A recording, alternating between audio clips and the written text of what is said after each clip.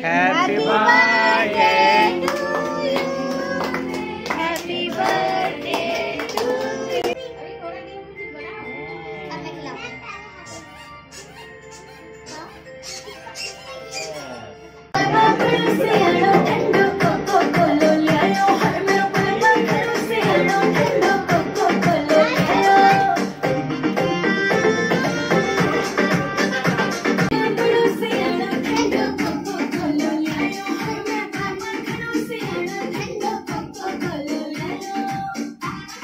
प्यार वाले फीलिंग्स का नाम